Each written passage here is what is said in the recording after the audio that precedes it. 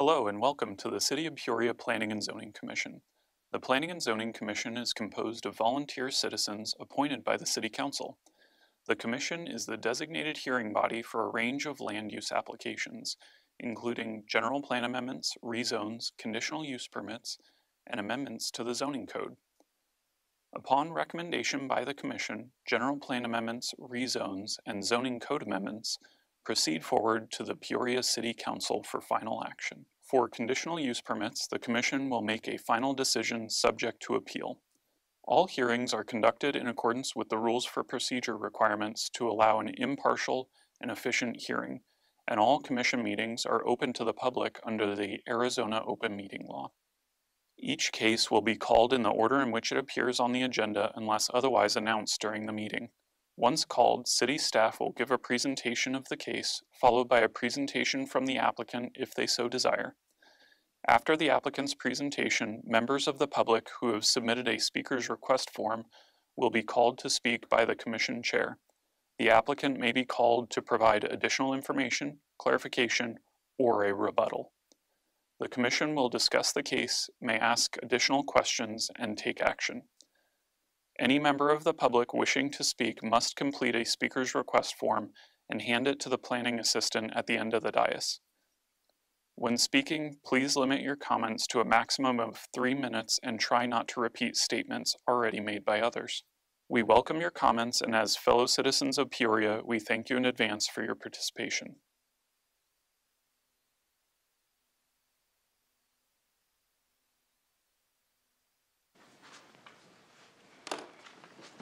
All right, good evening. I'd like to open this planning and zoning meeting tonight, uh, June 2nd, 2022. My name is Clay Alsop. Thank you for joining us tonight. We appreciate your participation. Uh, We'll start off tonight's meeting with a roll call. Commissioner, or Vice Chair Fighter, Present. Secretary Linda Grice, Present. uh, Commissioner Sean Hutchinson, Present. Commissioner Jeff Nelson, Present. Commissioner Josephine Waitman, Present. We do have one vacant seat, and uh, Chair is present. I will proceed to the consent agenda. All items listed on the consent agenda are considered to be routine or have been previously reviewed by the commission, will be enacted in one motion. Do I have a motion for the consent agenda items 1C and 2C? Chair, I move that we uh, approve the consent agenda as presented. I'll second. Thank you. Please vote.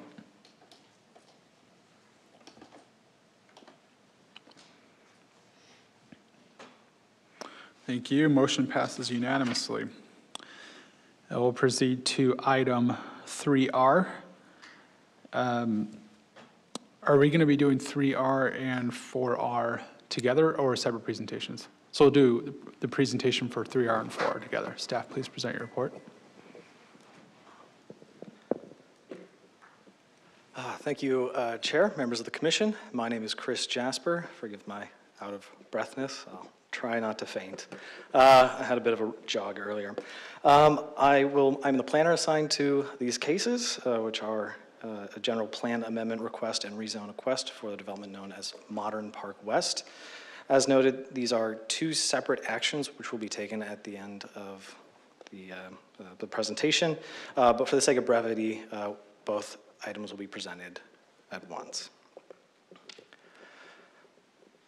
Brief overview of the project. The applicant is David Shashevsky, uh, who is uh, applying on behalf of Modern Apartments, which is the developer on the uh, development. Uh, Is located generally at the northeast, northeast of the northeast corner of 95th Avenue and Olive Avenue. The project is, or the subject site is approximately 5.7 gross acres in area. And uh, as discussed, the proposal is to uh, modify the general plan land use category and rezone the property to develop a 130-unit apartment complex.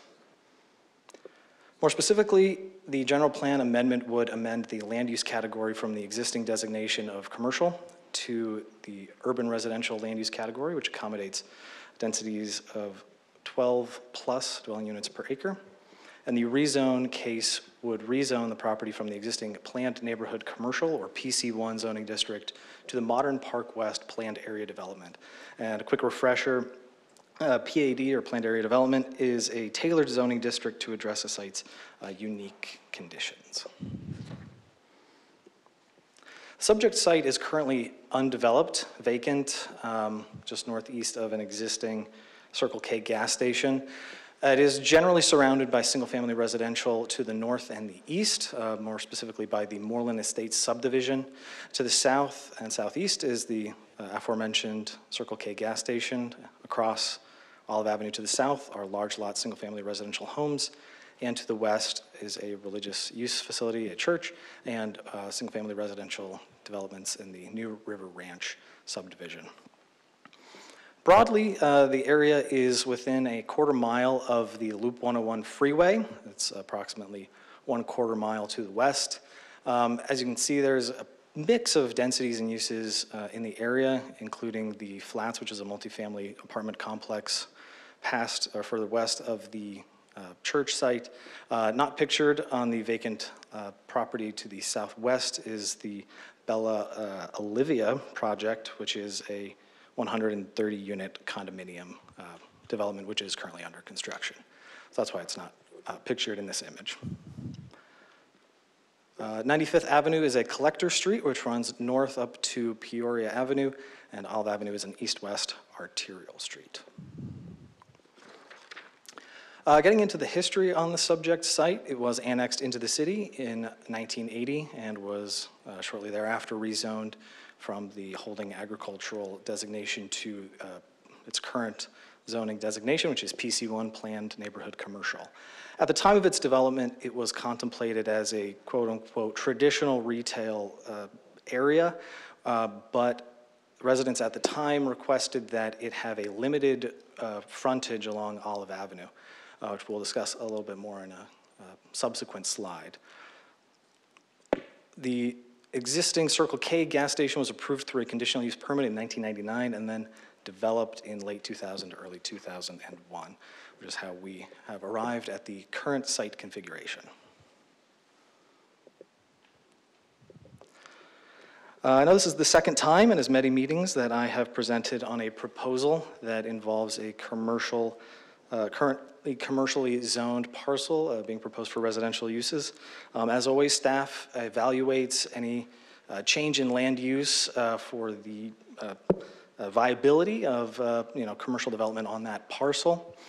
Um, And there are a number of impairments existing on the site that have led staff to generally believe that the location of the subject site as currently constituted is unlikely to attract what we would refer to as a major anchor or magnet user, which is the intended development pattern associated with our PC1 or planned uh, neighborhood commercial zoning district. One of those impairments is the sub, uh, the site size. It's approximately 5.7 gross acres and is, you know, developable as about 5 to 5.5 net acres. Um, And it's got that irregular configuration, which limits the sort of developable land, especially when you calculate in factors such as drive aisles, uh, drive, excuse, excuse me, parking stalls, landscape islands, landscape buffers, building setbacks, etc. It has a limited vehicular access from Olive Avenue, which is the primary arterial, which runs east to west from the Loop 101. There is an existing driveway onto the Circle K site. However, no dedicated shared access easement was provided at the time of development, so access onto the site is not guaranteed. An access point from 95th Avenue um, uh, is less than ideal, as 95th Avenue uh, is a uh, collector uh, roadway as classified by the City of Peoria Circulation Plan, which features lower volumes and lower vehicular through, uh, output, excuse me. And there are visibility concerns related to the existing gas station. Um, Any building that would be likely to develop on the site would most likely be forced to be located further north in order to accommodate the required site improvements, which limits its visibility along Olive Avenue. In addition, um, development, uh, the site, excuse me, was uh, designated for commercial development prior to the construction of the Loop 101 freeway. Uh, Since that freeway's construction, uh, the majority or uh, most meaningful commercial development has occurred to the east side, and some of these outlying commercial pieces have been uh, sort of left over from that initial zoning time.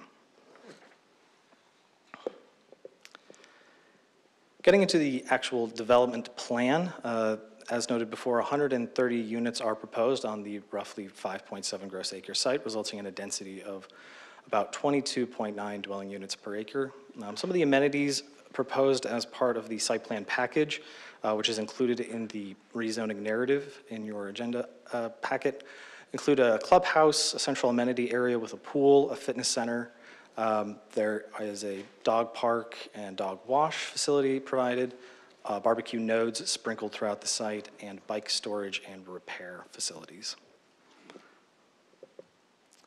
There's a better, more zoomed-in look at the development plan. There are 15 buildings uh, proposed on the site, which are made up of a mix of two-story buildings that are highlighted in blue on the graphic on the uh, slideshow, and three-story buildings which are highlighted in green. Uh, There's a mix of studio, one-bedroom, and two-bedroom units, which make up uh, 18, 54, and 28% respectively of the unit mix.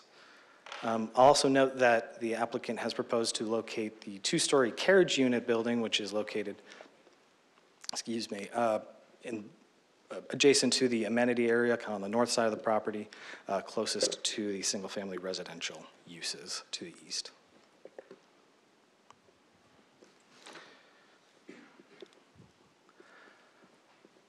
Uh, Getting into some of the traffic-related access and improvements, uh, the primary access onto the site will be provided on 95th Avenue, which will allow full turning movements into and out of the subject site. Emergency access only will be provided onto Olive Avenue, uh, meaning there will not be any permitted ingress or egress unless for uh, emergency-related reasons. And no access will be permitted onto Mission Lane to the north. Both of the uh, access points will be gated, and uh, pedestrian gates will be provided on both. Additionally, the uh, developer will provide half-street improvements on both Mission Lane and 95th Avenue. In accordance with the requirements of the City of Peoria zoning ordinance, a notice of application and a notice of hearing postcard was mailed to all property owners within a 600-foot radius of the property and all registered HOAs within a one-mile radius. A legal ad was published in a newspaper of record, and the site was posted physically with a sign uh, in accordance with city requirements. Uh, Staff has been in communication with the school district, Peoria Unified School District, and they have indicated that the school district does have the ability to serve the development.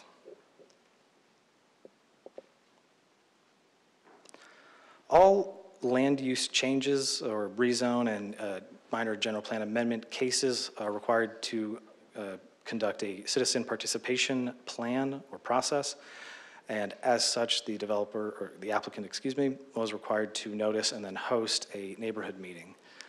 That neighborhood meeting was held on November 29th in 2021 at the Residence Inn, uh, at which nine residents were in attendance, in addition to members of the project team, city staff, and the district council member. Topics of concerns that were noted at that meeting include the proposed heights of the building and its compatibility with the adjacent single-family residential neighborhoods, the impact of traffic generated by the project on 95th Avenue in particular, and noise generated on the development. The applicant hosted a second neighborhood meeting on March 17th in 2022 at the same location, at which five residents were in attendance, in addition to members of the project team and city staff.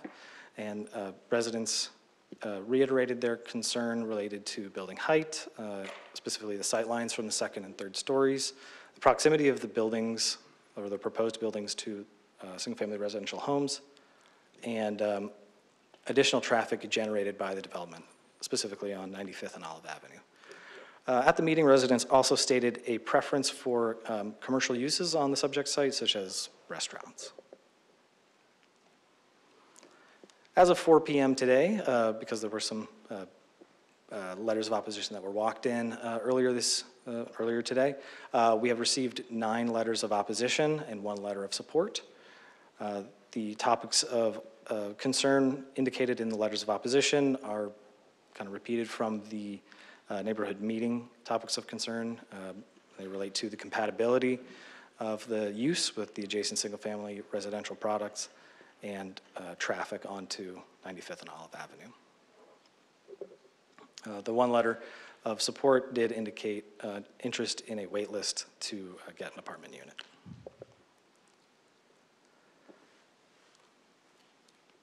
Uh, So based on staff's evaluation, uh, some of the key findings associated with the case um, are that the existing site and its constraints uh, represent sort of impairments for future meaningful commercial viability. Uh, The proposed modification uh, advances the general plan goals for a diversity of housing and opportunities to live near services and employment opportunities. Uh, It provides for a land use transition between commercial uses and established neighborhoods, and the proposed housing product is in alignment with the urban residential land use category. As such, staff recommends approval of case GPA 2104 to the City Council. It's the minor general plan amendment, and staff recommends approval of the rezone request, case 2107, subject to the conditions of approval in Exhibit 1. Uh, This concludes uh, my presentation, and I'm available should you have any questions. Thank you. Thank you, Chris. Appreciate the presentation. Uh, Commissioners, any questions for staff? Commissioner Nelson? More clarification on the PC1 zoning designation. I guess I understood a little differently. It's for small retail uses. You would, you spoke of an anchor, it would typically require an anchor store or anchor tenant of some sort. Can you elaborate a little more, maybe provide some examples around the city of PC1? If you know of any. Or Chris can take that one. Excuse me. Didn't mean to put Mr. Chair, members of the commission, Commissioner Nelson. The uh, PC1 district, when we think about the uh, different, we have about seven commercial districts. The PC1 is a um, rarely used district. I I don't think there is but a small handful of sites around the city. It's essentially a lower intense type of commercial district. Um, The comments we were making in reference to the um, magnet user or some type of anchor, when we look at the uh, commercial viability, and and we always look at those very carefully, um, we note that um, the property was zoned commercial back in 1981. Um, Since that time, the Circle K fortunately or unfortunately, took the hard corner, and what that left was um, very little frontage along Olive Avenue, which is where all the traffic uh, goes through. And so that left uh, very little frontage on Olive and very little visibility. And what we have left is about a five-acre, net five-acre site. There isn't a lot that can go there. So when we think about the viability, and we, we set aside the fact that after that time period, the 101 built, and that's really consumed a lot of the um, interest in terms of commercial and employment use, along with Westgate. So we talk about some of those residual commercial uses. And uh, uh, given some of these constraints, and given that, that with a five-acre site, it's really hard to bring in the type of uh, user that might um, generate that sustained commercial activity. Um, I, I- I suppose you could have some minor commercial activity that, that could occur, but over the last 41 years, the site has been zoned commercial, and we just haven't seen the interest. So just for clarification, this would be what I would see as a typical small strip shopping center, for lack of a better term, where you'd have small stores uh, within there, maybe a barber shop, um, tax office, you know, um, for new tax returns. I'm trying to envision what we're talking about. Is that the kind of thing we're? Yeah, Commissioner Nelson, members of the commission. That'll be commission. allowable? Okay. Yeah, the type of uses, you're absolutely right. I mean, you could have uh, office, you could have uh, small retail. I believe, well, I believe some restaurants are allowed in that zone district as well? too, but it's along the lower side scale of intensity for commercial. Oh, I see, okay. Coffee shop? Okay, okay. Thank you for clarifying that. Commissioner Fider? Thank you. Um, Mr. Hawkes, the, the current zoning, does it allow for access points off of a non-major arterial for commercial access? Uh, Members of the commission, Commissioner Fider, so d- regardless of whether this uh, project was commercial or residential, my understanding is that we would not permit any access off of Olive Avenue, gi- gi- given that uh, length. So it would have to come off of of 95th Avenue. Okay, so whether it's commercial or multifamily, access points coming off of? off of 95th. nine- off of- That's correct. Off of 95th, okay. Um, And then this, the current, the current site plan has just an emergency exit out onto Olive? Is That's that- correct. That's right, okay. Commissioner Nelson? Yeah, That's a great question, Mr. Fighter. Um, Can I ask a follow-up to that? So if the, the owner was able to negotiate a access agreement with the Circle K, would that no longer be an issue? Would then they have access off of Olive Avenue? Commissioner Nelson, I'm going to turn to our traffic engineer over here. So, Chair Alsop and Commissioner Nelson. It, it may be easier if it's possible to go to the site plan. Um, That way, we're talking from the same graphic. Okay, it- can you guys see that one, uh, that site plan? Okay. And so, uh, if- regardless of what development comes in here, right now, it's proposed um, apartments, say if it's commercial, uh, The access to Olive is problematic uh, for a number of reasons. Even cross-access and sharing it with Circle K, we wouldn't support as far as traffic, because the Circle K driveway is too close to the traffic signal at 95th Avenue and Olive, and it's full access. And so I don't want additional trips coming in and out of that driveway so close to a traffic signal. And if that Circle K was to come in today, they would not be allowed that access, but their grandfather, they've been there for some time new development as they come in, especially the frontage that's currently along Olive, it's too, again, too close to the traffic signal and too close to the existing driveway for Circle K. Therefore, we will only permit uh, emergency-only access to allow fire to access this complex off Olive. But any other development, their sole access will come from 95th Avenue, and that's for safety.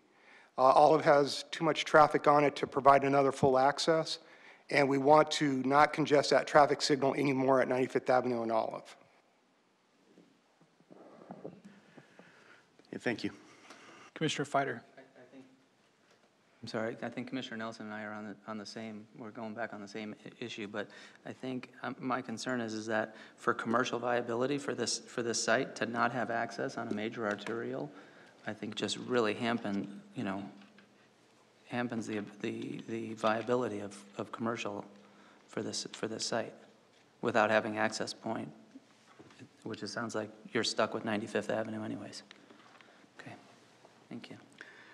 Well, I think a key takeaway for me is, you know, looking at the case last month, looking at this one, I'll tell you what, I'm going to be applying a higher level scrutiny to any gas station that wants to locate on a C2 parcel, and it's going to reduce frontage, you know, visibility, frontage visibility, access, whatever it may be.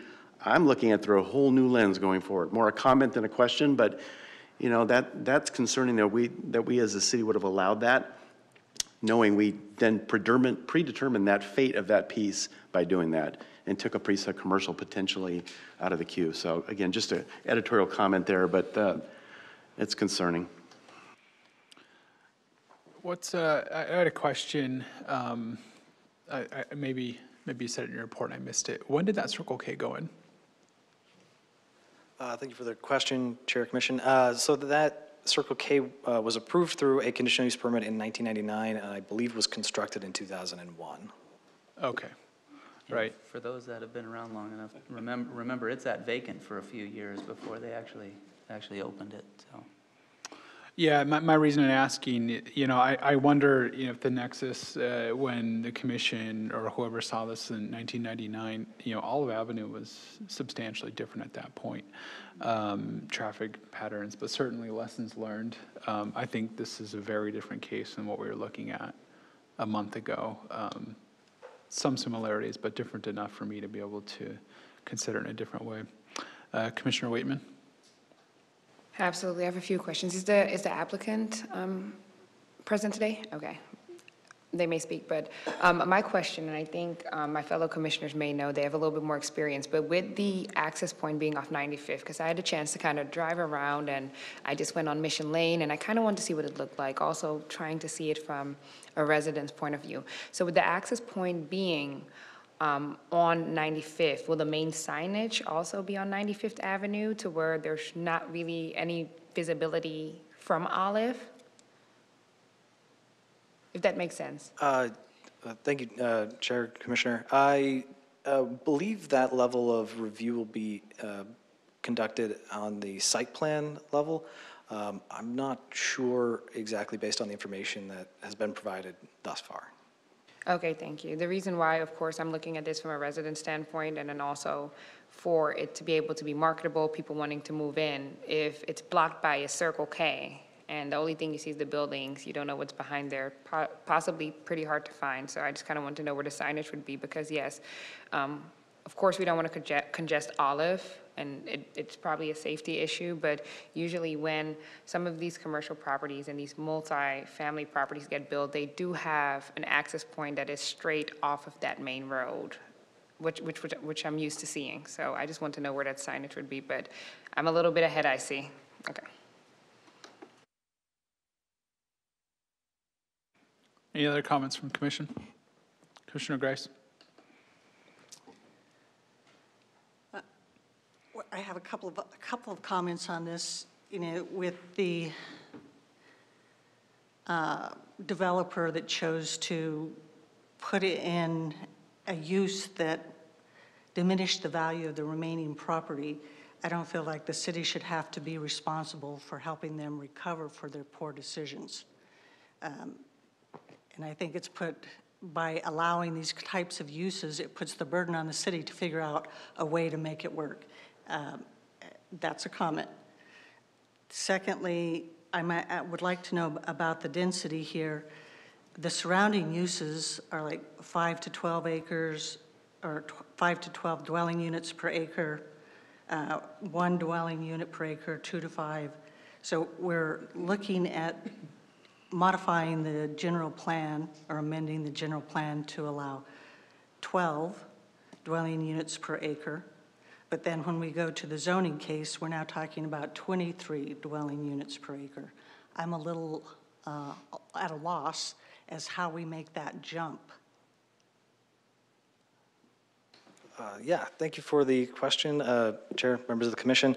Um, The general plan land use category is uh, the, uh, I think, broader, uh, well, actually, I don't want to butcher this explanation, maybe I should let Sure. Mr. Chair, members of the commission, the land use designation that the applicant is seeking is, uh, is urban residential, which is 12 units and above. The actual density that they're proposing as part of the rezone case, I believe, Chris, was 22 point something is what they're proposing. But the, the designation is 12 units and above. That's the general plan designation.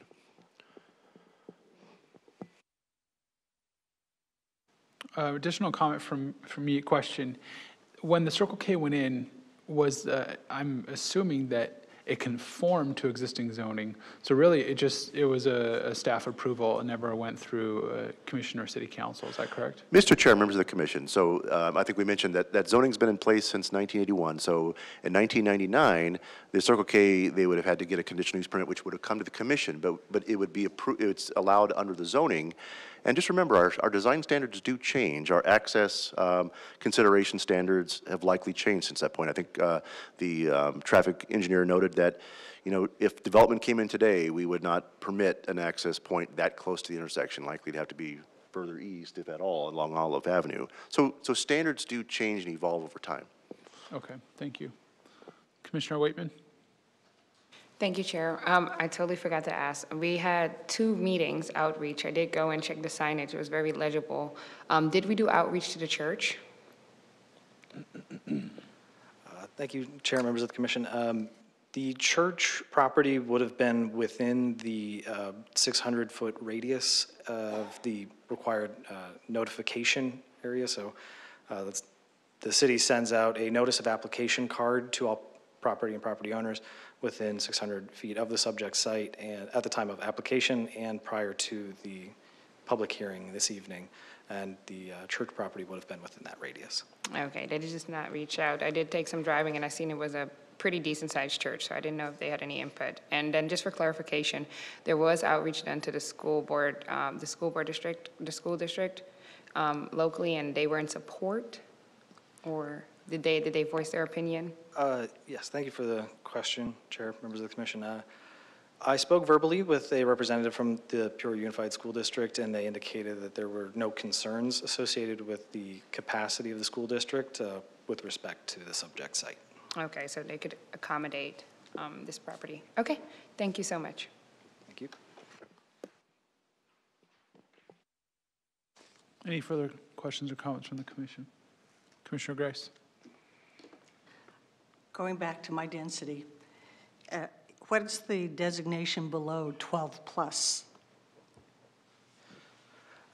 Thank you for the question, Chair, uh, Commissioner Grice. Um, The land use category that is, I guess, one step less dense than the urban residential land use category would be suburban residential, which uh, is a density range of approximately five to 12 dwelling units per acre.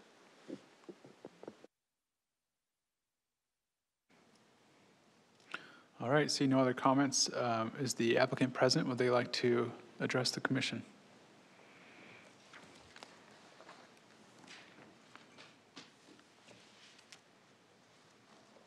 Thank you.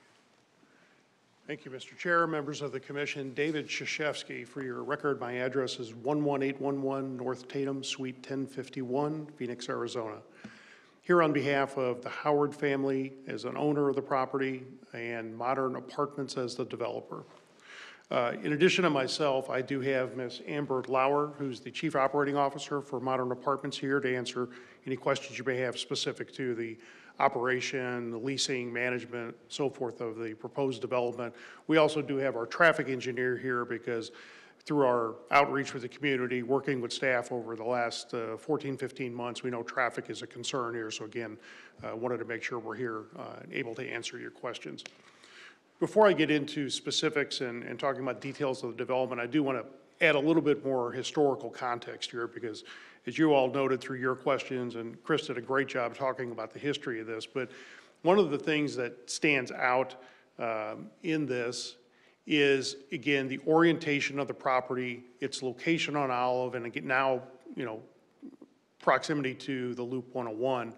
Again, when this was originally zoned 40-odd years ago, it was planned as sort of a neighborhood uh, retail center. As Commissioner Nelson pointed out, you know, perhaps what we would all refer to as strip retail and having a variety of uses. Obviously, that never developed. I mean, as Chris mentioned, Circle K came in, I think it was actually Phillips 66 at the time in 1999 for a conditional use permit, ultimately built a couple years later. There was a 20-year span in there when, you know, as this area developed, still no, not much commercial activity on this. My clients own the property now for 20-odd years, has had it listed with uh, numerous retail, commercial brokerage firms, uh, has had commercial interest on it. Nothing has ever come to fruition. Uh, More recently, we had interest for uh, townhome-type developments, single-family detached developments. Again, neither of those uh, move forward uh, through fruition, largely because of development constraints, access constraints, and really orientation and proximity of the property to the gas station. Um, You know, in terms of use, and there's been a couple comments already about compatibility, I just wanted to touch on, you know, again, the position of the property relative to the single-family residential that developed around it uh, to the north and to the east, the, the church to the west, and again, Olive, really creates some significant development challenges for a commercial use. Uh, As was discussed, you know, uh, at at length already here, the very limited frontage on Olive and the affirmative, you know, no access on Olive really presents almost insurmountable challenges for commercial. Again, all the commercial traffic would have to go down 95th Avenue, enter into the development. Uh, I think Commissioner Nelson mentioned in terms of design and use, you know, under PC one, we could do about a 30% lot coverage for commercial. So you'd be looking at, you know, a- you could put a 70,000 square foot retail center on here, assuming you could park it and do some other things. Uh, Again, pad viability, you know, having restaurants uh, behind the Circle K, accessing off of 95th, all these things, as Chris kind of mentioned, really create not only constraints on commercial viability, but significant increases in impact to the existing single-family that lives, lives around there and accesses Olive via 95th Avenue. So in taking all that into consideration over the years, trying to, you know, come up with viable commercial developments, alternative uses for this site, what we bring forward to you today, we believe is a very viable project. We believe it is very compatible with the adjoining residential uses. uh, and will really complement this area, and finally, after 40-odd years, bring this property into a a very productive and a very quality use. Um, In terms of community outreach, I did want to point out, uh, while it was noted we had several community meetings, but we started much, much earlier than that. My client actually went out, uh, meeting with the council member, actually going door to door to some of these residents, just knocking, even before we started the development process back in early 2021, just to kind of solicit some community input. What would your thoughts be about a multifamily development here? Again, while we're required to host one neighborhood meeting, which we did uh, in March of uh, '21, we wound up doing an additional neighborhood meeting and additional door-to-door outreach on this. So there's been very good interactive communication here. Now, I will tell you that we mailed out over 160 notices. We reached out to 17 or 18 HOAs within the area, as well as the school district, the church, uh, SRP, other governmental entities here. As Chris noted, at our first neighborhood meeting, we had less than 10 residents show up, and most of them lived to the immediate east.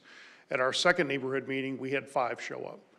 And we'll talk about some of the concerns and some of the things we've done, but I wanted to just make a point again that knowing the, the type of project we're bringing forward, the change from commercial to residential, and the history modern apartments as a developer had, we wanted to make sure we did some early commercial, uh, early community outreach to ensure we're soliciting comments and get the community involved.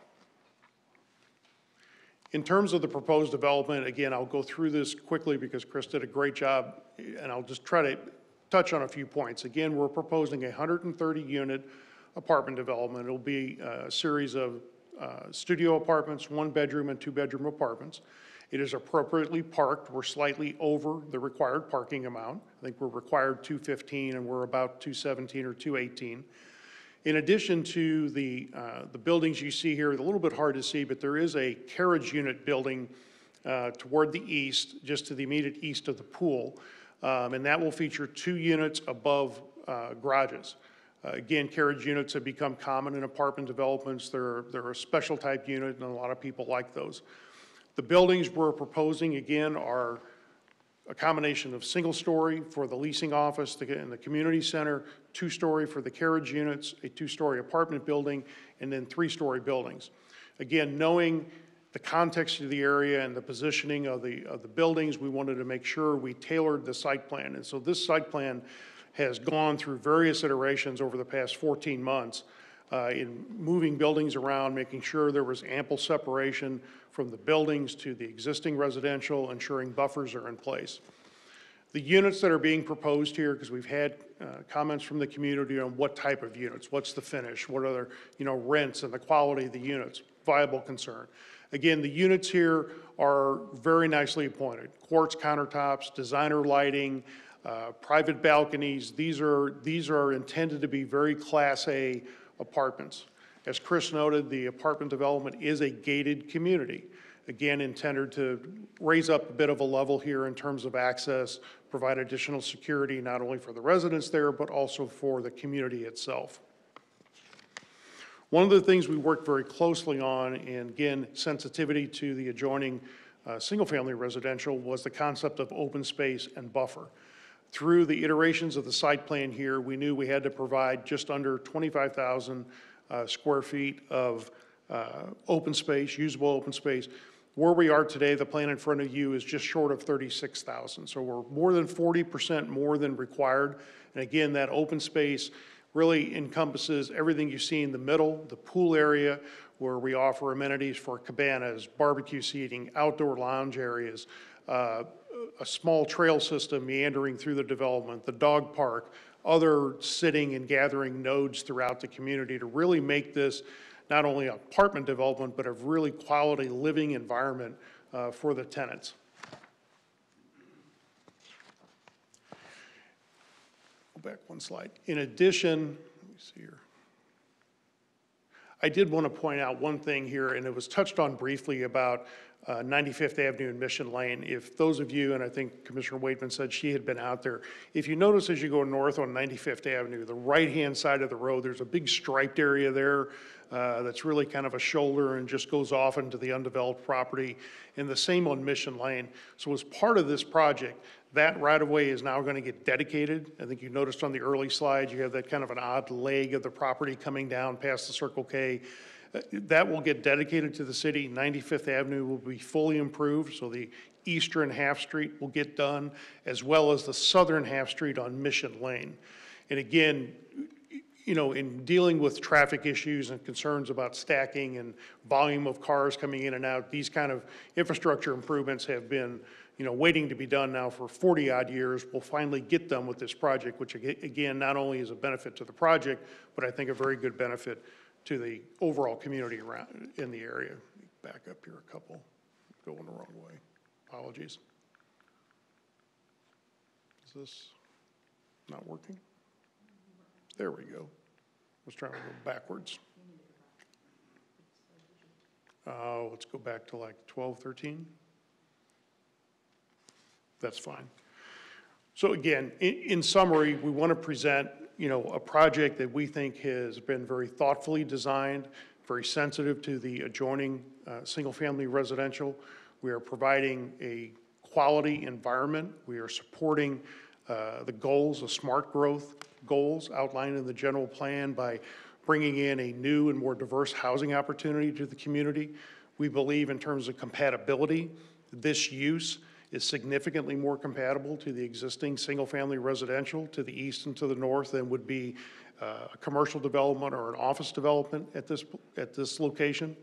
The traffic volumes that this will generate, as, as uh, city staff has indicated through our work with them and our own traffic engineers, are significantly less than would be generated by current uh, commercial developments that are available, on the order of three or four times less than what a commercial development would bring here.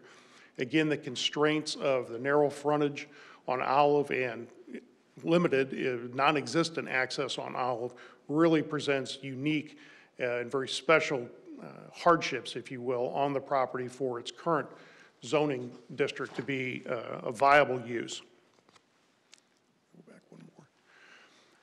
Again, we think this will finally place this property into a very productive use. As I mentioned, we have gone to links and through various site plan iterations, trying to be very sensitive to comments from the neighbors, adding in a large landscape buffer along the eastern property line, moving the buildings to over 100 feet away from the existing residences to the east. Again, that landscape buffer you see on the, on the east is a 20-foot wide landscape buffer. There are over 50 trees uh, planted in there. Those will be large mature trees. They're going to be 9 to 12 feet at planting and will ultimately grow to 20 or 30 feet be- because of the species. So we'll create a very nice visual buffer for the project as well as for the adjoining community. Similarly, on Mission Lane, as that road improvement gets done, a large landscape buffer to the homes to the north up there. Again, our central entrance will be off of 95th Avenue. And to Commissioner Waitman's comment, that will be the main point in terms of advertisement, if you will, and signage will be at that, at that central entrance. Really, probably is more problematic than uh, helpful to have a sign on Olive because we would not want cars trying to make an ingress movement into that drive and causing more traffic. So again, the flow of traffic will be in and out of that drive on uh, 95th Avenue. So again, in summary, we do believe that over the past 14 months, we have worked well with staff, incorporating their comments, their request for traffic mitigation measures, development mitigation uh, measures, really redesign of the building, the landscaping. Uh, We believe we have been sensitive to the comments we've received from the neighbors. And we do believe this project will be a great asset to the area and the community. And again, offering a new and more diverse housing opportunity in a, in a market uh, that is really demanding housing opportunities right now. So with that, we would certainly appreciate your support this evening, and I would be glad to answer any questions you might have. Thank you. Uh, Do we have any questions for the applicant? Commissioner Hutchinson? Thanks, Chair. Um, Any uh, comments on uh, affordability? Um, They seem like really nice places. You know, again, uh, and I'll just answer the anticipated question in terms of rents. Um, You know, if, i- while this project is, you know, a year or more out from being uh, finished and available, if this was open today, we would be looking at rents probably in the 1,500 to $2,100 range. Uh, you know, again, certainly more affordable uh, than a lot of areas, certainly more affordable than having to go buy a house in today's market. Uh, So again, we intend to be attracting, again, with the mix of studios, one bedrooms, two bedrooms, at that price point, you know, a pretty broad section of folks, young working professionals, uh, maybe young married couples, could be empty nesters who have now sold their house. I still want a place in, uh, in the Phoenix metro area to come in the winter. And, and so again, with the amenities that are offered here, this creates a very quality living environment for that, that price point. One other question, Chair. Um, The species of the trees on the, uh, on the border, especially with the neighbors, um, any ideas as far as, I mean, I've, I've seen them where they're, the trees make more of a mess than they're, than they're worth. Uh, We got to be looking at, you know, a, a decent tree that's going to not dump a bunch of garbage in the neighbors' yards. So, uh, Commissioner Hutchinson, what is shown on our landscape plan now, and I think included in your packet, we're calling out a couple of different species of, uh, there's a Texas olive tree, there's an evergreen elm that is being used. Again, they were picked by the landscape architect more for sort of the, the- the thickness, the bushiness, if you will, and the ability to grow high, so we do create a good buffer between the development and the existing single-family. Thank you. Any other commissioners? All right, thank you. Thank you. Uh, We do have a few uh, speaker request forms from members of the public. Uh, I will read those off in the order I received them. Uh, When you address the commission, please state your name and address for the record, and we would appreciate you limiting your comments to three minutes. We will start with David Dura.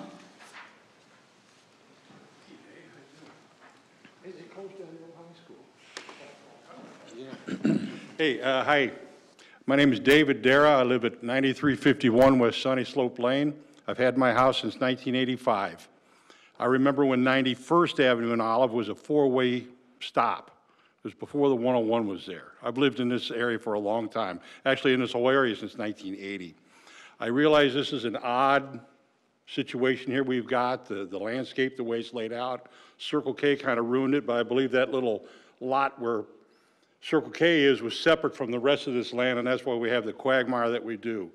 But having said all that, my biggest concern is the height of these structures, the encroachment and the visibility, especially to the people that live on 94th Avenue, and the create, and the additional traffic that it's going to create on 95th, not only with this project, but the one on the southwest corner behind the QT. You're talking 130 plus 130, you're going to have three or 400 more cars going up and down 95th and Olive, along with all the school buses, because the school bus garage is right up there at Peoria 95th. Those are my two biggest concerns, folks. And, uh, I, you know, I, I'm not opposed to growth, but, you know, we got to be sensible about this. They could put a putt-putt golf course there or something for crying out loud, or, or build a community park and then donate it to Peoria. But, you know, it's, it is what it is. That's all I have to say. Thank you, David. Uh, Next speaker request form is from Linda Khan Shockley.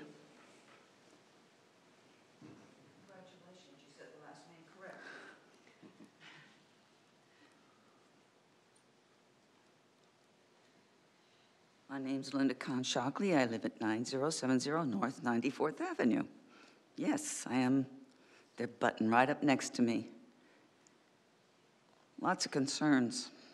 I've been there since 1985. June 1985. So I've been there for 37 years this month. Lots of changes. One thing I would give up would be my privacy. I value my privacy very, very much. My home is my castle, as everybody else's. I have no privacy in my front yard because that's open to the public. How much privacy do we have in our homes? I've heard of cameras being in televisions and things like that, so gee, do I go outside for my privacy? I don't know anymore. But um, I do value my privacy. And quagmire, that's what I see there, quagmire, 130 units, minimum 260 more people, maybe 260 more cars. Um, The only way that I have to get out of my place is going down to 93rd Avenue. If I want to go, go west, that's great. If I want to go east, that sucks. So I go down to 95th, so it's safer to go there, but we do have a lot of accidents there also. Um, If there's ever an emergency where we all have to evacuate, oh my God. I only have three exits. 93rd, as I said, and there's only one way to go, and that's west. 95th and Olive, or 95th and Peoria. Those are the only exits. That's something that should be thought of. Uh, Also, people that rent have a different mindset set than homeowners. They're transient. They can pick up and leave in a minute. Sure, homeowners can, but what's the likelihood of that? You know, my block wall is going to be the common wall. Well, that's on my property. I did ask the question of who's going to clean up the graffiti if they spray on it. You know, I have a lot of questions. But I just look at it and I go, oh boy. Do I sell now quick and give up everything that I've worked for and try and find something else? Or do I stay and then have to put up with a bunch of garbage and BS? Because if teenagers come in there, oh boy. Just ask anybody who's lived in an apartment complex. What's the stats? Crime goes up. And where are those kids, if there's a lot of kids in there, where are they going to go? They're going to go into the neighborhoods. Over my block wall, possibly. You know, those are my concerns. I'm concerned for my neighbors too. My neighbors aren't happy about it either. I know they're not here, but some of them work, and it's not like it was when I was younger. Now, people work, and it's, it's hard work, and, you know, I can understand why they're not here. So, but I am, so I'm speaking my mind, and I'm speaking for them. They don't want to see it. At least all the ones that I've talked to, I haven't heard one that says that they're for it. And I look at the design, the design is right down there on I- on 83rd and Olive. I look and I see 1950s. So how long is that design going to stay in style? I don't know. But we need to think this is South Peoria. Told my granddaughter about my neighbor selling his house. What she said to me is, I'm sorry, Grandma, but it's too ghetto for me. She doesn't live in Peoria, I do. You need to hear it. I'm sorry, you need to hear that. So you can do something about it. Because I'm vested in this community. 87, no, not 37 years. I'm vested here. 37 years of property taxes. 37 years of my life. So, think about that, please. Thank you, Linda. Last one, David McBuckin.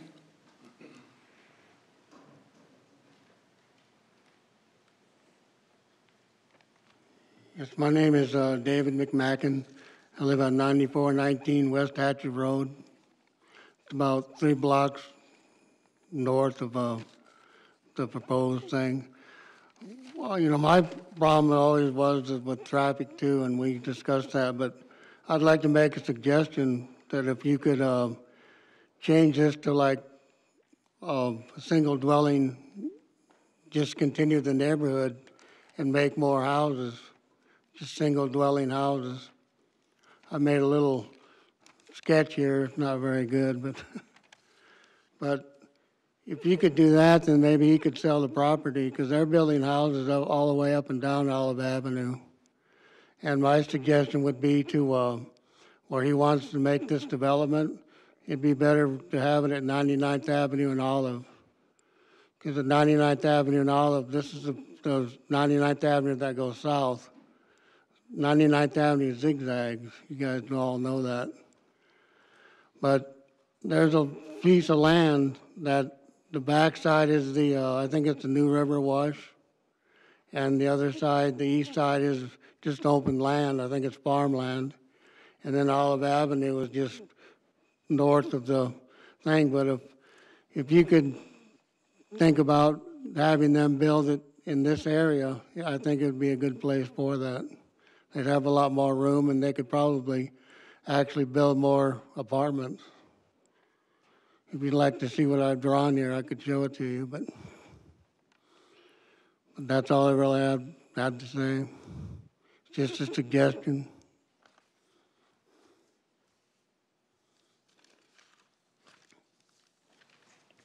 Thank you, Mr. McMacken, appreciate it. Would you guys be willing to do that? That's all we have for the uh, speaker request forms. I'll close the public hearing. Uh, Commissioners, any more questions or comments for staff?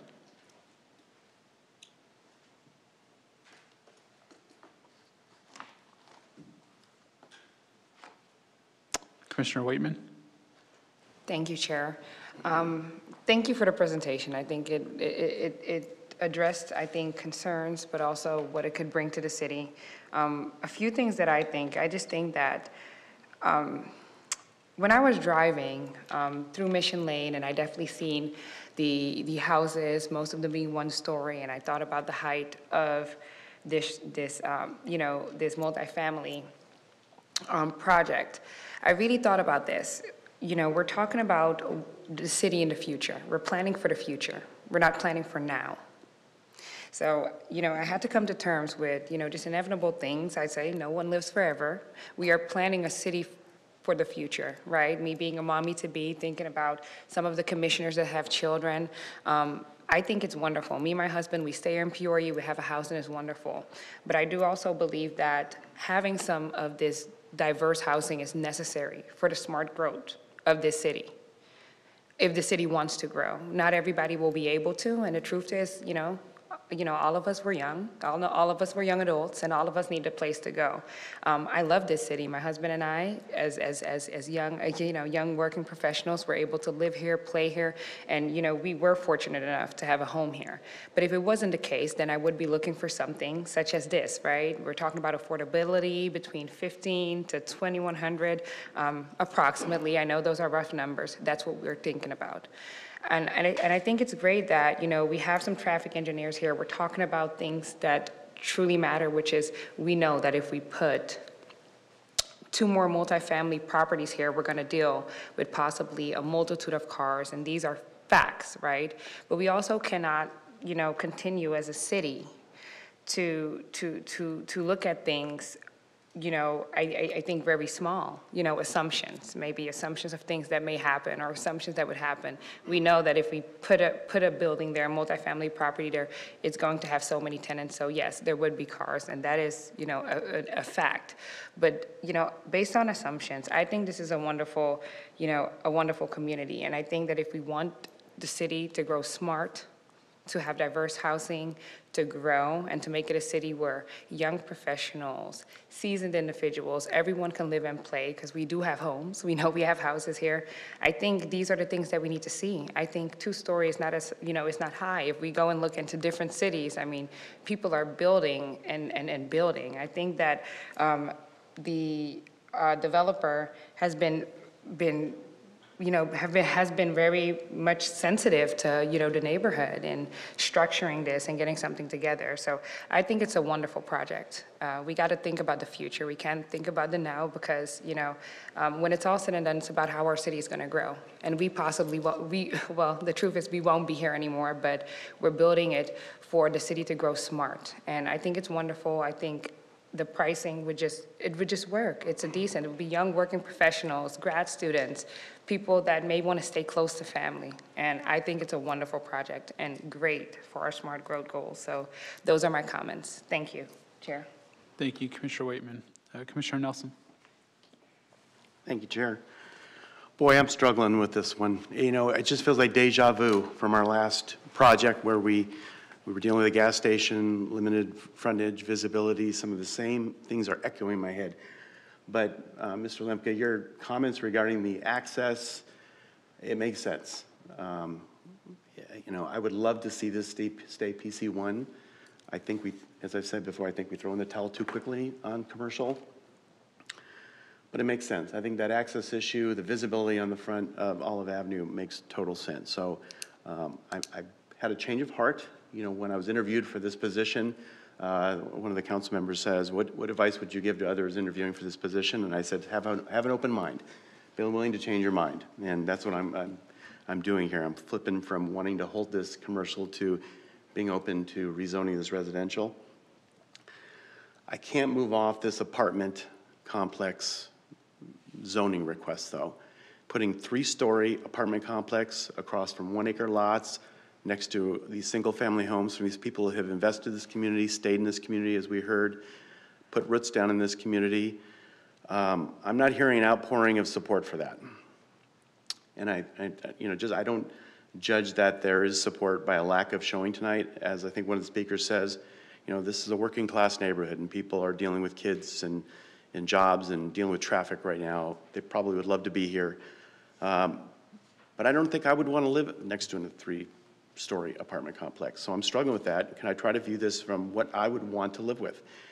So although I'm in support of the general plan amendment change and update to uh, residential, I cannot support an apartment complex. I think I would love to see the owner take this back and shop this around as um, townhomes, single-family homes perhaps, um, condos, I- something to that effect. Single-story, less density, less traffic on 95th Avenue, less impact on the neighbors, less privacy issues. I can go on and on.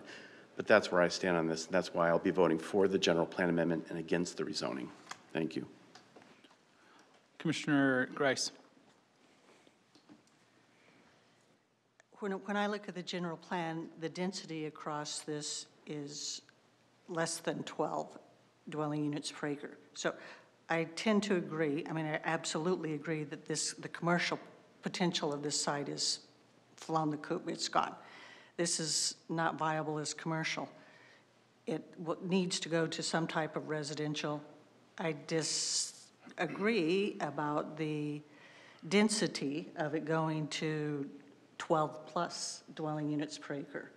I believe it should be less than the 12 dwelling units per acre, and I'm going to vote against the general plan amendment for that reason, because the density needs to be adjust, addressed at the general plan level, I believe. Commissioner Hutchinson. Thanks, Chair. Um, Another one of those interesting meetings again. Um, Look, the, uh, you know, the, the, the, the- the valley area as a whole, um, it was just reported, we are a quarter million home units away from where we should be. Um, The, the future of our area, it's unfortunately, we can't build out anymore, we have to build up. And we're gonna be seeing more and more of these, and they're needed. I have three kids that can't find a place to live. We need more resi- resident, multifamily housing units throughout the city. To have an infill project like this and open up the opportunity for commuters to get right onto the 101, working families, single, you know, single and, and young couples that, that can afford a place to live and get to work, you know, get onto the 101 and go to work. We don't have enough of that. And these infill projects are a perfect fit for the location that, that it's in. I know it's, I know it's a tough change to adopt to for the, for the residential neighborhoods that were right there, but, you know, you've had 30 years with nothing there. And you, you had, appreciate the time that you had there. Because they're apartments, it doesn't make them bad people and, and doesn't make graffiti happen on your wall, doesn't make kids crawl through your yard or whatever. It, none of that stuff, those are all perceptions. And the reality of it is, we're a quarter million housing units short of where we need to be right now with the growth of this valley, the businesses, the, the industries that are moving in, and the opportunities for young people to, to get out there, make it, and just find a place to live. It's damn near impossible. We need more of this, and I'm, I'm in support of both the zoning and for the, uh, and for the project on its own, so. Um, sorry, let me look at, Commissioner Nelson, did you request again? I didn't, I apologize. Okay. Any other commissioners?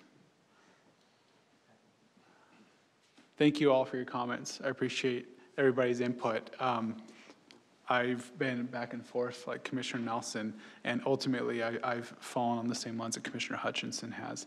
Uh, we're in a housing crisis, and for that reason, and almost that reason alone, I'll be supporting both cases.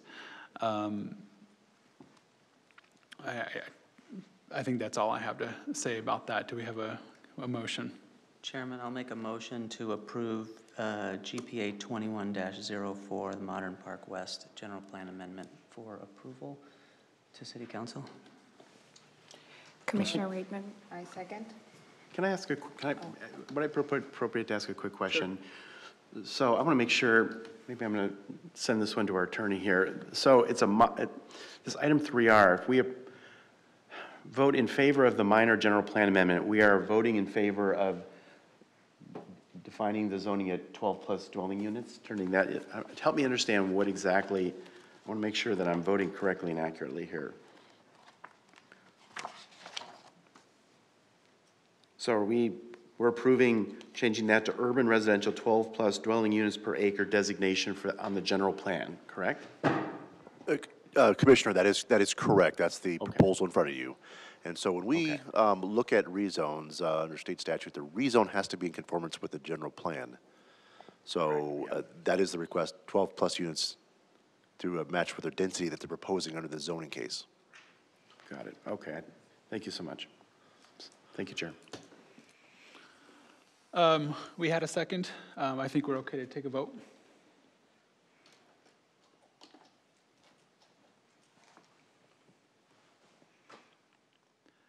Motion uh, passes uh, with uh, one nay.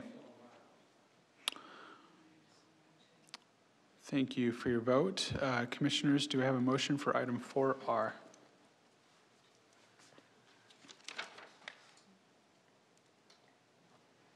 Mr. Chair, I'll, uh, I'll move um, to recommend uh, approval to the city council on item 4R, um, Z2107. I'll second. Thank you. Please vote.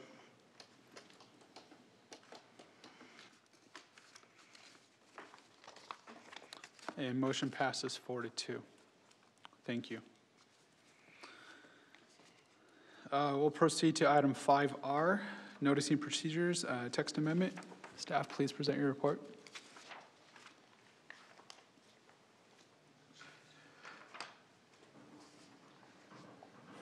One second while we switch out staff, but you'll recall several months ago, we came in front of the commission and we held a study session and talked about uh, some of the enhanced notification procedures that we were looking at. So tonight, I'm going to introduce Dan Simer back. Now, the Chris Show is over tonight. Good evening, Chair, members of the commission, Dan Simer, Senior Planner with the city. As Chris indicated, we were back before you in March to do a uh, study session, work session on this item. Uh, We went through both our current um, noticing procedures and provided an in-depth overview of those. And this amendment is to enact a lot of the stuff that we talked about. Um, So I'll briefly go through those for you. So the request before you is a zoning code text amendment. It does uh, affect three sections of the code.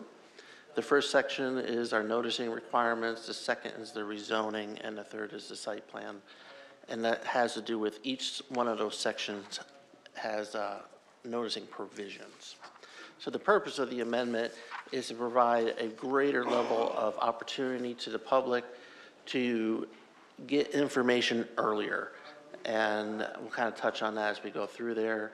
Uh, Identify best practices for our open um, remote meetings. Now, that'll be done through a guide. That's not part of this amendment, so that'll be a guide that will be published after the approval and adoption of the ordinance, if so council decides.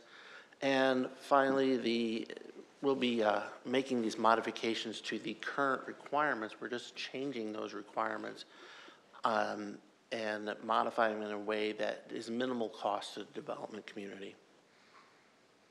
So as we, as we go through the process, the the uh, graphic on the screen before you is a real general overview of our process. There's many steps in that, but those are our big steps.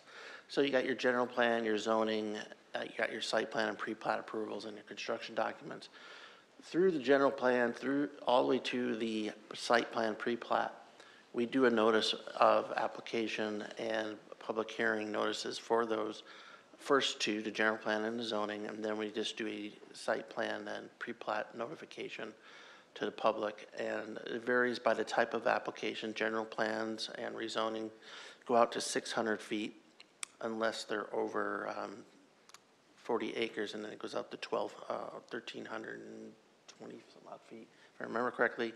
Uh, We do notify all the HOAs within a mile for all three types. The site plan and the pre-plat are notified up to 300 feet. And of course, when construction documents go through, those are, there's no notification on those. But the public is notified when the pre-plat and the site plan has been approved. So the forms of notification that we have, we have the notice of application, and these are for your general plan, your rezoning, your conditional use permits, your site plan, and your, and your preliminary plat. This is a notice card that goes out, and we showed those to you last time, and they're on the screen before you, that we send out to the property owners to know, hey, there's an application that's been submitted. For the public hearing applications, and that's any application that comes before you, whether it's a rezoning, general plan amendment, conditional use permit, including also some appeals. But primarily, the notice of neighborhood meeting, this is sent by the applicant, and this is a letter that goes out uh, regarding their open house meeting or neighborhood meeting. The city does follow up those public hearings with a postcard. For example, the case that you just heard, a notice would have went out for those to uh, 600 feet. Um, In accordance with state statute, we do do a legal, what we call a legal ad, and it's because we call it a legal ad because it's in a state statute. It's in the newspapers, an eighth-page ad article that is published, and it goes out a minimum 15 days ahead of time. For those public hearing cases, there is a sign posting that you can see the zoning sign kind of on the screen before you. We will be modifying those, I'll kind of hit on that in a brief second. And then for our site plan and our, and we'll be proposing a change to our preliminary plat, uh, we send out a notice of decision so that the public knows that the cases have been approved.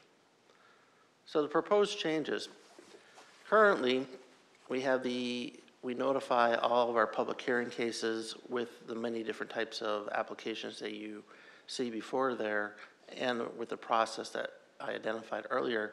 Uh, I want to make a note that the general plan application is referenced by, is incorporated by reference. So currently, we follow the zoning application process for those type of applications, but it's not specifically stated. So we will be specifically stating the, the general plan application. But more importantly, we're going to be adding the specific plan areas, and those are like our Old Town Master, uh, specific plan. And there's some others up in Vistancia as well, or near there.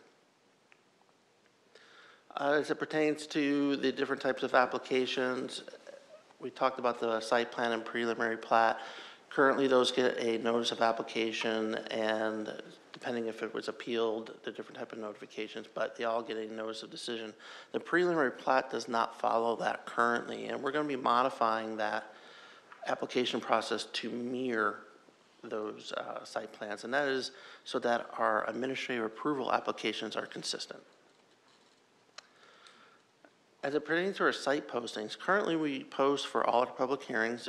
There are different types of signs, but the primary one that you see is your four by eight sign, and those go out for public hearing. We're going to be changing that process as part of this amendment so that those signs go out prior to the neighborhood meeting. And the content of the sign, which will be part of our guide, will have that information about the neighborhood meeting in it. So that's a, a process improvement. Currently, there's not a sign posted for the neighborhood meeting. These signs will be posted before then. They still have to post a sign, so it's just earlier, no, no real significant additional cost. Uh, we're going to be modifying the content as part of the guide to make sure they're clear. Um, and as I indicated, they're 15 days before. Now, one of the things we're clarifying, and this is unique to Peoria, I'm not familiar with any other city that does this. We're going to be modifying our code to state that the sign date that is posted, the neighborhood meeting, and the public hearing are not included in that 15 days. And the reason is, is to make sure that sign is up 15 days prior to the hearing.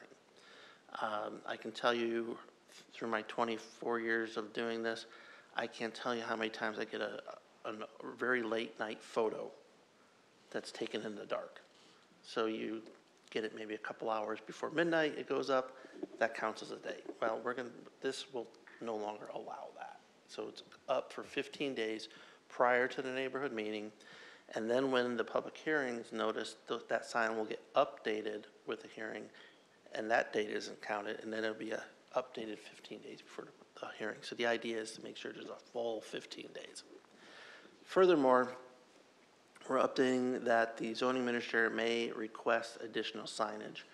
And the criteria for that is if it's over 40 acres, or over 10 acres, sorry. Um, And if it's on multiple street frontages. uh, Or if there's a need to provide additional sign areas, so we're not cramming all the text onto one sign, you know, making it smaller and harder to read. So it's, the idea is to make sure we get the information out uh, and that there's sufficient signs. And finally, which is, isn't in our code, and we- we've all drove around going, wow, I heard that case four months ago and that sign's still there. Uh, We're adding the provision that the signs must be down 14 days after final action. So that'll allow us to get that, those signs down and if necessary, um, do a code enforcement action. Normally, when we notify them, hey, can you please take down a sign, they will. Occasionally, they drag their feet, but the idea is get this sign down. So, and that's to eliminate visual clutter that's no longer ne- necessary. Now, our proposed neighborhood meetings, currently, um, the notices go out 10 days before a neighborhood meeting. We're going to be changing that to the 15 days to follow the same criteria I just talked to you about the signs. And the idea is so that we're mirroring the public hearing timeframes, that, that all that information is minimum 15 days. And we're also asking that the neighborhood meeting is done after staff's first review of the application. Why are we doing that? Uh, The intent of that is so that the public sees the revisions, or at least the applicant is aware of staff's comments before doing an open house meeting. Very often what happens is, you may have heard this in other applications, I've never seen this before. Well, it- they may have seen it, but in a whole different form. So the idea is that the, the applicant has the time to make any modifications or is aware of the staff's comments. Uh, In a rare case that an application does not require a subsequent review, it does have to be, will have to be done before we uh, schedule a public hearing. So you still get that process in place. And um, it's, again, to get the most accurate and current information out to the public. So as we, as we move through the process, we're also going to allow, as we went through COVID, we learned about the electronic meetings and how to do that. We're going to be adding a provision that allows the zoning administrator to either allow or require that uh, electronic meeting. And we'll be establishing uh, minimum uh, policy guides for that. And, you know, most of the time what that comes down to is you're using a- an application that's known to everyone, Zoom, Microsoft Teams, how the meetings run, how comments are talked about. Those are policy guides, they're not code requirements. The code just says you need to comply with it. So that gives us the requirements that we need. And finally, the, as we noticed, that the, the notices that go out, all too often, the information that we need, that the public needs to know is when, where, and what is it, get lost. So we're going to be having minimum standards for that and also in our guides, we'll be establishing those too. So as I indicated earlier, that the, the, and just now, the policy updates, we'll be updating our sign requirements to be more clear, more precise. We'll be updating or creating a neighborhood open house guide to create the template, which I just talked to you about, and the virtual meeting. Currently, we're doing this already. We've updated our city website, so when there's a neighborhood meeting and a public meeting, uh, planning commission city council, that information is available on the website now. So when we get notified as, as the project coordinator, we uh, send it off to the people that update that, and that information is available on the website. So there's multiple forms. Your notice goes out earlier, it's more clear, your sign goes up, you have your electronic notification as well. So we've done the public outreach, we've met with you again in March. We talked about what it is and what we're planning to do. We've also talked with the city council, had a meeting on that. The public hearing, this public hearing, in addition to the city council, was noti- uh, published in the newspaper in accordance with the zoning code and state statute. And as of right now, we have not received any support or opposition to this application. Noticing did go out to, the- uh, was also sent out to the business community that we keep track of with our uh, economic vitality staff. So there was a much larger notification that went out. And I believe that has 5,000 people on it? Yeah, yeah, it's 5,000 people on it. So we've hit a very broad uh, spectrum as it pertains to this amendment. Uh, I'll be happy to answer any questions. Oh, wait a minute, I got one more, findings. Forgot about the findings. So the purpose of it is to enhance our notification requirements and while minimal impact to development costs and enhance, uh, get that information out there earlier. Uh, The primary accom- accomplishment is where, when and where's your, no- your neighborhood meeting? Get that information out. Ensure that the signs, uh, the signs and the notices comply with our guides. Broaden the participation and expanding the platforms, which is our electronic review, uh, electronic notification, our, our notices on the website. Uh, Doing a notice of approval or decision, is what we call them for preliminary plats, which currently isn't done.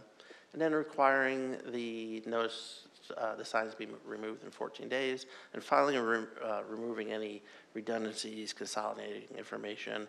As you can see in your packet, the current code is 10 pages long to say the same thing what we just did in five.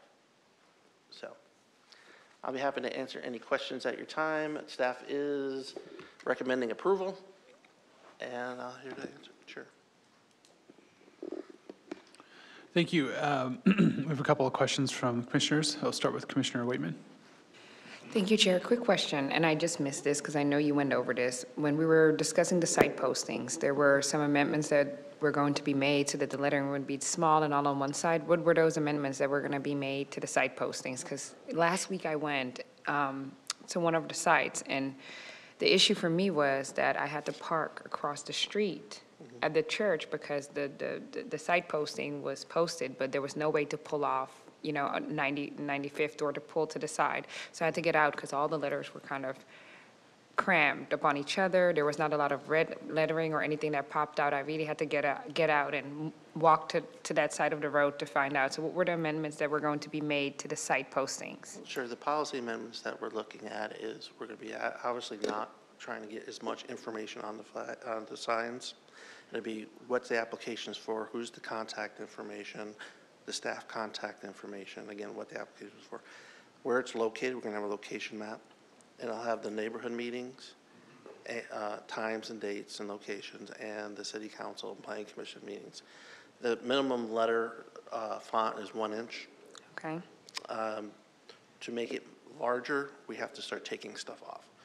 Because one of the things when you start make, when you, the more white space, easier to read, or like the sign that was, I, we saw earlier that was on the thing, it's very cramped, very hard to read.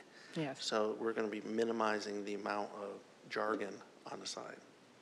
And of course, you did mention last time about changing that dates to the red. We'll, we'll be implementing that too. Yeah, I think so. I think it's great. I love the site, the site postings, but definitely just if you don't want to get out of the car or are not as interested, but you're just driving past there, I just think being able to have a sign that's legible when, when you're moving, I think that would help. So that's great. Thank you. Thank you. Commissioner Nelson. Thank you, Chairman. Um, I love the proposal. Anytime we can be more transparent, give more more notice to our residents to participate, that encourages participation, that's a good thing. So this is all uh, moving in the right direction, in my opinion. Just a couple of quick questions. Um, You mentioned there was a city council study session on this. Bruce, I'm just curious, you could summarize what was city council's feedback on this? I'm just, Would you want yep. Uh, Mr. Chair, Commissioners, I I can certainly do that. I I delivered that presentation. The uh, City Council was very supportive of the amendment. Uh, They thought these were all sensible, good changes, and these were changes that did not elongate the development process time, did not add additional cost. Again, as uh, Mr. Simon mentioned, we already require the site posting to go up. This just requires it to go up a little earlier. And I think we we made some other things that hopefully clarify things and and uh, just make it a little more clear for people. Great, excellent. Uh, The other question I have, uh, if I may, is, can you clarify the electronic virtual neighborhood meetings? Is, would these be in addition to the in-person meetings or in lieu of or in place of those meetings? The, the way the code is written and proposed is that the zoning administrator has the ability to require in addition to the neighborhood meeting or in place of. So the intent is how do, what is going to be the best way to get the public notification out? Um, Certain times there, you know, we're in the middle of nowhere, it may be more appropriate to do an electronic meeting who knows? But the, the, the intent is it gives the zoning administrator the option, although our intent is not to do away with the neighborhood meeting, that's a last resort kind Okay, of, kind of option. thank you. And the zoning administrator is Mr. Hawkes, correct? Okay. I thought I heard commissioner, and I was like, hmm. then I heard administrator. That was good. Um, I uh, had an additional question. Uh, I'll let Commissioner Hutchinson go first. Yeah, go ahead. Um, Yeah, I- I know I mentioned it last time, and I don't know if it was, I I just paid my utility bill with my phone just now as we were talking. And, uh, I mean, I know the utility has the ability to see, you know, my address and my cell phone. I mean, wouldn't it be that just the tracking and to be able to say, no, we sent you a notice and here's the proof? Uh, That, you know, when people say I didn't get the notice or I wasn't informed or whatnot, I mean, this is attached to my address. And I got a text, you know, I paid my bill right now. I just did it, paid. But uh, I I don't know, it just seems like we have, it would not only benefit the resident, it would benefit you guys and all of us to say, look, we, we, we informed you, here's the proof, documented proof. Not just, we, we, we send you a card. I would be throwing those cards in, if I said, dear resident, right in the garbage. I want to see my name on it. No, anyway, that's just my comment. Mr. Chair, Commissioner Nelson, uh, Hutchinson, um, actually, ironically, I had the same question today, and it was a neighbor who reached out to us approximately six months after a rezoning case that had been completed and construction was getting ready to start out of the, out of the ground, so to speak. And so um, What we currently do is every application that we have a notice, we create a radius list. It's an Excel spreadsheet on record that we have. We also include a map of all the addresses that we have. We, um, because of ARS regulations, it has to be out to first-class mail from a city perspective. And so we are not able, so we're supplementing through electronic means, but that, to meet state law, we have to have first-class mail. And so we keep a record of that. And so as Jack goes, I, Jack, Jack C2, which you met at the last meeting, goes, I have a angry neighbor, and he said he never got noticed. And I was able to pull up that notification list, and I said he was noticed um, for the general plan and zoning case. He actually was noticed also for the site plan case, so he had two bites at the apple, so to speak. He also had his homeowners association receive notice as well and could have communicated that out to him. So we were able to provide that documentation. Um, Whether he received the card or not, um, we try our best. And if for some reason they have not adequately modified their mailing address, not necessarily with county, but it's with the tax assessor location as well. Sometimes we have that difference in there. Or if they've let a forwarding address lapse, we get a lot of postcards kicked back, and it's, it is a shame, and we keep a good stack of those until the case is over and things go. Um, But we still always have that record of what, who we sent to, when we sent to, and so forth. And, and today, actually, that was a, a great, yes, we did, promise, we did, you know, you, you did have that opportunity. So to your point, Commissioner Hutchinson, um, we make every effort, um, until state law changes, we, we're, we're supplementing as best as possible. Yeah, I know they still require newspaper. um, So, sorry, the newspaper people.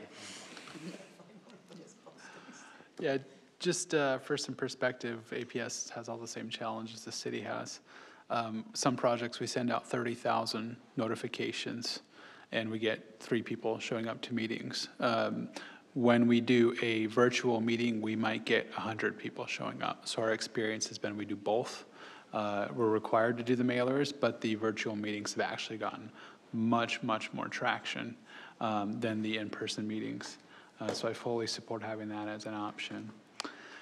I did have a question, maybe I heard incorrectly. Can you elaborate on the change for the preliminary plat approvals? Is there a hearing for that, or is that still done administratively? Chair, uh, members of the commission, the preliminary plat currently just gets a notice of application. Uh, What we're changing is that when the prelim- preliminary plat's approved, we will send that notice. The only time it goes to the commission is if there's an appeal. Okay, I got you. Thank you. I- sur- The other reason I asked, Surprise, just, Surprise tried to remove the preliminary plat hearing, and it actually got declined, which I thought was interesting. And I thought we were going in the opposite direction. I'm fully supportive of preliminary plat administrative approvals. That's, makes a lot more sense to me. It's a technical document. Yeah, and Mr. Chair, uh, members of the commission, the preliminary plat is an administrative document in the, in the city of Peoria, like site plan. So what we're trying to do is make the two consistent in how we noti- notify them. Right now in our code, there is uh, very little language in regards to preliminary plats. We're trying to make that in alignment with how we treat site plans. They're both administrative applications. Okay, thank you. Commissioners, any other comments? Seeing none, do I have a motion? Uh, Chairman, I move that we recommend approval of case TA 22-01 pursuant, pursuant to Exhibit 3 contained therein. Have a second? Second. Thank you, please vote.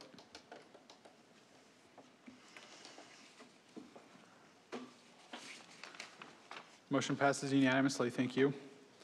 All right, we'll proceed to uh, call to the public on any non-agenda items, seeing none present.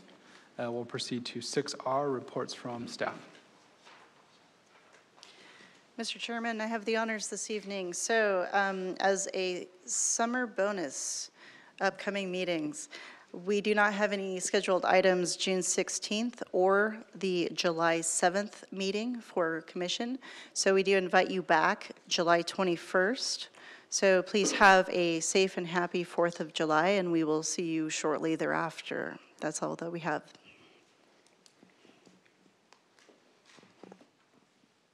Sorry, adding that on my phone. Uh, Got to close out the meeting. Oh, do we have any uh, updates from commission? I'd just like to thank Mr. Hawkins for spending his birthday evening with us tonight, so happy, happy birthday. All right. So we, Absolutely. we hope your party was as enjoyable as it was for us. Happy birthday, happy birthday. 29 feels great, huh? All right, uh, see no other updates, we'll close this meeting, thank you.